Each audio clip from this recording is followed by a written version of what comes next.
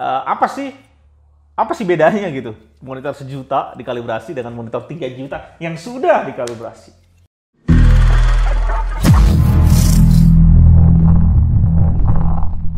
Oke okay guys, selamat datang di GTA di channel paling canggih di 2020. Yup.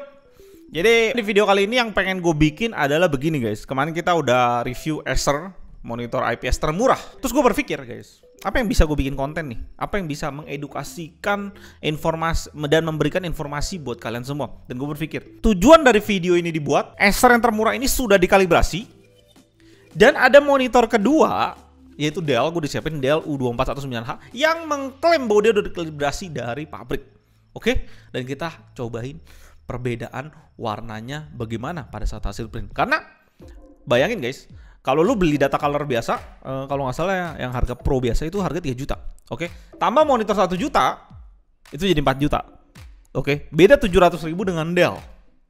Nah, dan kenapa menurut gua tuh worth it banget beli kayak gini? Nanti gua akan jelasin sambil kita berjalan. Oke, okay. gue beres-beres dulu. Oke okay, guys, jadi gue udah keluarin Dell. Ya ampun, ribet juga ya urusannya bongkar pasang. Ya di sini Acer yang udah gua calibrate dan di sini dia ngeklaim udah calibrate. Jujur aja gue tetap bingung guys. Keduanya punya warna yang berbeda.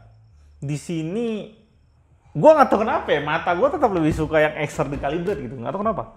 Tapi kalau yang tadi udah off banget ya, Acer yang nggak dikalibrate tuh off banget. Gue udah bandingin sama yang Dell juga kurang enak, kurang enak. Nggak tahu kenapa enak aja di sini gitu ya. Dari segi warnanya, bukan berarti Dell jelek ya guys. Dell tetap bagus gitu. Tapi gue lebih suka di sini kayak lebih hijau di penghijauan gitu ya di pepohonan di situ lebih hijau. Mobil uh, karakteristiknya berbeda. Dell itu agak sedikit kuning, sedangkan di sini lebih sedikit natural gitu. Kalau gue lihat putih juga di sini agak sedikit warm di Dell dan di sini sedikit uh, jelas banget bahwa dia benar-benar ngomong 6500 Kelvin. Ini putih yang gue bisa ngomong putih. Oke okay guys, jadi kalau gue patok pakai warna kertas warna putih gitu ya, pas gue taruh di sini, ini karena lighting nih kayaknya. Intinya di sini lebih putih dah. Ini agak-agak kuning. Nggak tahu kenapa begitu ya. Tapi ini masih gue kalibrate berarti baru kita ngomong kualitinya sebagaimana gitu cuma ini tetap beda sih malah dia lebih mendekati kertasnya ini gitu pas ini putih tuh kagak sih ini kagak lighting nih semua Enggak kertas ini agak kuning, kuning sedikit kalau gue lihat ya. Kalau gue lihat perbandingan ini, dia kalah putih, ya monitor jauh lebih putih. Dan kalau di sini kayak ngeblend gitu, mungkin gue pikir mirip-mirip gitu lah. Kalau gue pakai kertas putih ini sebagai patokannya. Jadi ini selalu lebih warm, di sini jauh lebih ya seperti mata kita ngelihat putihnya putih gitu.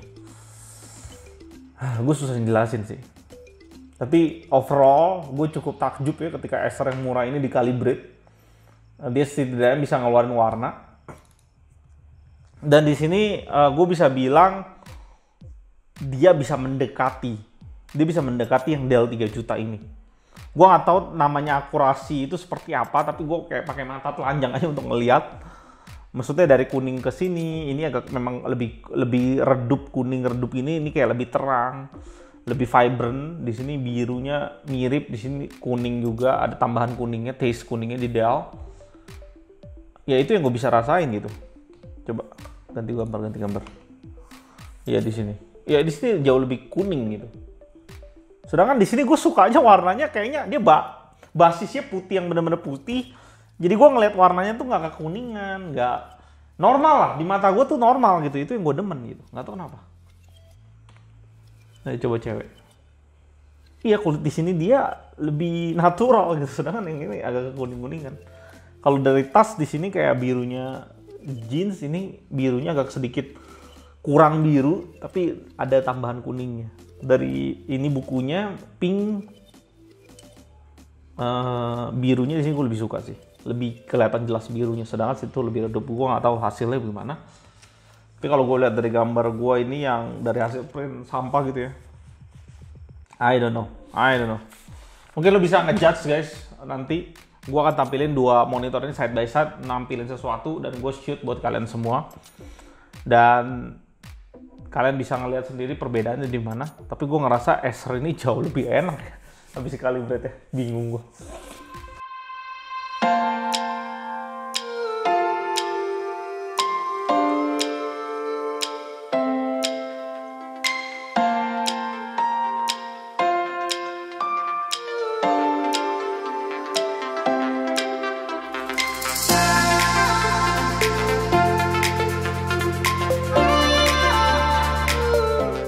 Halo guys, oke jadi jadi kita udah di hari esok ini guys ya. Gua kemarin agak bingung apa yang terjadi gitu ya. Kenapa Dell kesannya kuning banget dan dan di situ gue mulai curiga ya. Karena apa jangan-jangan Dell selama ini cuma ngejual build quality aja gitu ya dengan no bezelnya dia, dengan kualitas body yang bagus, keren, enak dipandang pada saat dilihat. Dan ternyata kita lihat sama-sama datanya guys. Karena gue saking penasarannya gue tes juga Dell ini dan gue calibrate juga bahkan ya. Monitor ini gue calibrate sekali lagi dengan alat data color dan gue uh, dan gue tes untuk data-data colornya dia. Dan jujur gue ini ini data yang mengejutkan ya. Buat gue data yang mengejutkan dan kita akan lihat sama-sama. Dan ini cukup berat ya untuk gue jelasinnya karena sangat mengecewakan ternyata Uh, di sini kita bisa dapetin color gamutnya dikasih ke kita itu 100% sRGB, 79% Adobe RGB, 81% P3, 75% NTSC. Menurut gue ini udah oke. Okay.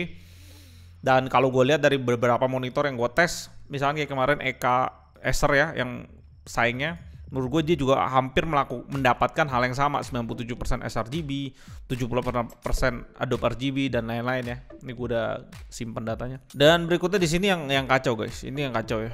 Uh, menurut gue cukup kacau Dell di sini. Pada saat pengujian brightness dan kontras kalian bisa lihat di sini datanya kontras dia kacau banget di 220 banding satu. Um, menandakan bahwa kualitas warna hitam dia memang amburadul ya nggak seribu dibanding satu dibandingin spesifikasi yang dikasih di website. Dan juga brightnessnya cuma dapat 210 nit dibandingin spesifikasi seharusnya di 250 nit. Oke di situ cukup mengejutkan buat gua dan ini white pointnya 6900 menurut data di sini. Padahal ini udah gua calibrate juga pas gua testing ini. Jadi dia nggak bisa dapetin 6500 gua nggak tahu kenapa dan di OSD settingnya di sini tetap brightnessnya dapat 200 210 nggak dapat 250 ini brightnessnya kurang banget di maksimumnya. Dan di sini bagusnya dia adalah di color uniformity-nya dia jujur aja jauh lebih bagus ya. Kita bisa lihat di sini perbedaannya 0, 0 2,4 ke yang paling jauh. 0 di sini batas minimumnya dan 2,4 yang paling uh, aneh gitu ya untuk warna. Jadi dia agak shifting 2,4 poin di sini delta E dia dia baca delta E to the closest Oke, kalian bisa lihat uh, itu across the board dia brightness 83% juga 2,2 poin. Di sini 2 poin. Uh, di 50% juga masih standar di uh, 1,9 poin. Jadi bagus ya di 50%. Nah, di sini juga untuk brightness gue bilang juga bagus. Per, uh, perbedaan brightness di setiap titik itu cuma 10% kira-kira average ya maksimum 10% ini 9 ada 10 gitu. Kalian bisa lihat sendiri di 13 dan lain-lain. Masalahnya guys ya ini ternyata masalah banget di sini. Color akurasi ya gue udah tes berkali-kali gue pikir gue salah datanya. Bahkan sebelumnya gue dapetin lebih worse dari ini sebelum gue calibrate gue nggak tahu kenapa. Tapi di sini kalian bisa lihat kekacauan terjadi pada saat warna-warna gelap guys. Warna-warna gelap dia lemah banget. Entah karena kontrasnya rendah atau gimana cuma ini melebihi delta E2 gitu dan biru memang biru yang satu F ini selalu ngacir ke depan gue nggak tahu dan ini melebihi 4 oke. Okay. dan kalau kita bandingin data ini dengan Acer misalkan. Oke okay, di sini gue ada data Acer. Kita side by side. Oh Acer gue dikit banget ngetesnya. Ya average lah average Acer lah. Oke okay. kalian bisa lihat warnanya Acer beberapa di bawah satu delta E ya. Warna hitam juga masih bagus di sini. Acer gue masih dan kalau kalian bandingin dengan 27G2 nih guys ya, ini luar biasa ya. Gue bukannya bagus-bagusin AOC dan kita nggak disponsor AOC untuk bikin ini. Gue sangat amazed apa yang bisa di achieve sama AOC di sini ya. AOC 27G2 itu memberikan color akurasi jauh hampir semuanya di bawah satu delta E bahkan warna biru yang ngacir satu ini masih di bawah 3 delta E sedangkan Dell yang mengklaim mengklaim bahwa dia ultra sharp malah ngaco parah, ngaco parah dalam sisi hitamnya ya. Kalian bisa lihat nih, hitamnya kacau-kacau, birunya nembus 4. Standarisasinya adalah tiga guys. 3 sampai 6 itu udah masih normal sebenarnya. Cuma untuk orang-orang yang benar-benar fokus warna itu disarankan di bawah 2 atau di bawah 1 gitu. Supaya dia nggak uh, bisa membedakan antara misalkan kita ngomong magenta gitu, merah. Magenta itu misalkan dia 70% sama 80%. Mata yang sensitif banget kayak manusia yang ngurusin color grading segala macam. Dia tahu bedanya. 60%, 70%, 80% bedanya di mana. Dan itu dibutuhkan monitor-monitor yang bagus, yang color akurasi tinggi dan bit depth-nya juga tinggi. Bit depth kedua monitor ini antara Dell dan Acer itu kalau nggak salah 8 bit itu normal, 6 bit plus FRC, jadi nggak ada perbedaan. Tapi color akurasi di monitor Dell ini gue bilang sih cukup kacau ya. Dan kalian bisa lihat datanya G2 ini jujur aja gue amazed banget itu monitor gaming by the way. Gaming IPS gitu loh. Gue pikir dia nggak akan mikirin warna sama sekali tapi oh my god ini warnanya bagus sekali menurut gue di bawah satu lo delta E nya dan lu bisa pakai itu untuk editing ternyata. Wow dan di sini kayak gue mind blown banget. Gue pikir oh monitor yang fokus editing selama ini yang gue rekomend buat kalian semua Dell gitu ya ternyata memberikan kualitas yang nggak nggak sebegitu menarik ya dibandingin AOC 27G2 ya. Yang notabene itu fokus ke game gitu. Oh my god dengan harga yang beda 300 ribu boy. Gila dalam hati gue jadi sampai saat ini dengan data yang gue dapat sekarang gue bisa simpulin bahwa eh, nggak uh, selamanya monitor gaming itu warnanya kacau. Dan nggak selamanya monitor yang fokus di warna warnanya bagus gitu ya karena di color akurasi ini kita bisa langsung lihat kedua hal ini benar-benar bertolak belakang dengan pikiran gue selama ini. Ah, dan di sini justru membuat gue penasaran bagaimana kualitas ViewSonic karena di salah satu kode ViewSonic itu ada yang mengklaim bahwa monitor dia itu bisa di bawah dual delta E. Semua colornya. Gue pengen ngetes dalam hal itu. Ya, dan gue jadi penasaran juga dengan VP2458 karena itu juga ngeklaim bahwa dia di color calibrate dari pabrik dan gue pengen tahu color akurasinya sampai mana kualitas panelnya. Gue nggak bilang Acer itu menarik ya, karena kalau lu lihat data di sini, gue kasih lihat satu data lagi. Acer itu kekacauannya, kalau kalian lihat dari screen uniformity-nya dia, warna dia ngacir banget. Lu lihat ya, 0 di kanan atas, bawah bisa sampai delta E 6,8. Jadi kualitas warnanya nggak seimbang across the board gitu. Satu panel itu nggak seimbang sama sekali.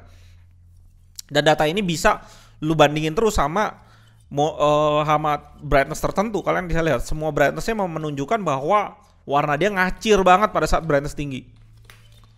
Gue rasa itu yang bisa gue data sekarang. Nah pilihannya adalah tapi tetap aja walaupun ngacir guys. Kemarin gue nonton lihat di Acer secara keseluruhan itu bagus aja di mata gue enak aja.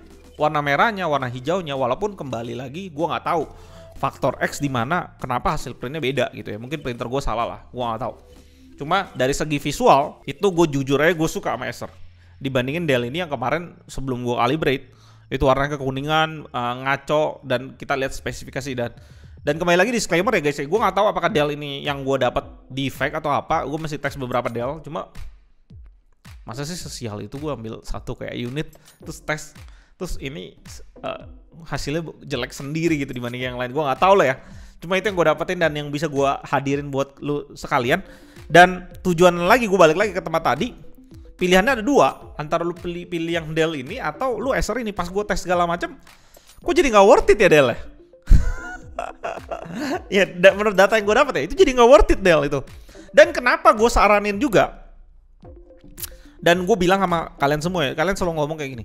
Mendingan gue kalibrate aja di luar sana deh. Cuma 300 ribu 400 ribu. Nah masalahnya guys gue pikir awalnya itu argumen yang masuk akal. Tapi setelah gue beli data color ini gue menyadari bahwa data color ini menyarankan kita untuk mengkalibrate monitor kita sebulan sekali. Bayangin, alat itu menyarankan kita untuk mengkalibrate sebulan sekali. Dan gue berpikir sama apa yang dia bisa kasih. Kemarin kalian udah lihat ya, datanya itu ada pada saat gue mau kalibrate monitor itu dia bilang ada uh, pilihan untuk sorry mana sebentar ya di sini gue tunjukin sebentar buat kalian pas gue calibrate monitor nih pas warm up segala macem nah pas advanced setting di sini ada namanya room light oke okay? Nah, room light ini ngefeknya ke mana? Nah, room light ini anggapannya yang kemarin gue udah bilangin, alat itu ngebaca brightness ruangan lo dan dia rubah warna yang ada di monitor ini. Sesuai dengan kondisi ruangan lo saat itu supaya warnanya nggak terlalu off karena itu ngefek ke ruangan itu. Dan dia rekomend ke kita untuk setiap bulan recalibrate monitor lu pada gitu. Jadi gue berpikir kayak gini, logika gue langsung berpikir, loh Sedangkan orang di luar sana kasih harga 200 sampai 300 ribu untuk kalibrate monitor lu. 200 sampai 300 ribu ya ke kalibrate monitor lu. Padahal kondisi ruangannya dia pas dia nggak kalibrate monitor yang lo beli, sedang dengan kondisi ruangan lu itu berbeda. No, jadi mismatch tuh. Aneh kan? Padahal lu bayar 10% loh dari harga itu. Dan kembali lagi pada saat data color ini suruh kita mengkalibrate setiap bulan, gue berpikir, oh jangan-jangan data color ini tahu bahwa ada namanya degradasi dari kualitas panel itu sendiri. Jadi setiap bulan diusahakan lu mengkalibrate ulang monitor lu karena kualitas panel pasti makin elektronik apalagi ya semua teknologi elektronik kualitasnya mendegradasi sampai satu titik bahwa ini udah batas ini ini udah paling batas paling rendah yang bisa. Jadi pas lu beli pertama kali performance pasti tinggi banget. Lu pakai berlama-lama ber, bertahun-tahun dia kualitasnya degradasi kan. Degradasi sampai satu titik dan itu mengefek pada warna yang lu lihat di mata lu. Jadi itu itu logika gue berpikir seperti itu. Jadi tetap aja menurut gue tetap lebih worth it ketika lu langsung beli alat calibrator dan lu calibrate setiap bulan monitor lu sendiri. Dan gue nggak tahu ternyata Dell ini ya Dell yang gue terima ini ya kualitasnya seburuk itu. But ya inilah data yang sesungguhnya kalian bisa lihat. Dan thank you udah ngikutin perjalanan video ini dan gue harap ada sesuatu yang bisa membuat lu tercerahkan gitu ya bahwa ternyata monitor gaming gak selamanya warnanya kurang seperti pikiran gua gitu dan gua sering impose ke kalian tapi monitor yang editing ultra sharp yang ngaku ultra sharp yang ngaku calibrate pabrik nggak selamanya kualitas panelnya bagus boy jangan-jangan gue bayar 3,3 juta itu untuk dapetin semua model di bodinya itu loh ini masalahnya seperti yang terjadi di MP88 oh my Ya bagaimana pandangan-pandangan kalian? Apakah konten seperti ini membantu kalian? Dan uh, di bawah kolom komentar, lu bisa tulis apa pun di pikiran lu. Tapi ini jujur mengubah pandangan gue tentang sebuah monitor gitu ya. Yang yang nggak bisa balik lagi karena gue lihat data secara keseluruhan. Oke, okay. thank you banget yang nonton. Jangan lupa komen karena gue akan baca satu persatu. Siapa tahu kalian punya uh, argumen yang lebih bagus lagi. Siapa tahu lu mau membela Dell ya gue gak tahu mungkin kalian punya pemikiran yang lebih luas dari gue dan gue belajar mungkin dari hal itu kalian bisa komentar di bawah dan gue akan baca satu persatu dan thank you banget udah support GTD selama ini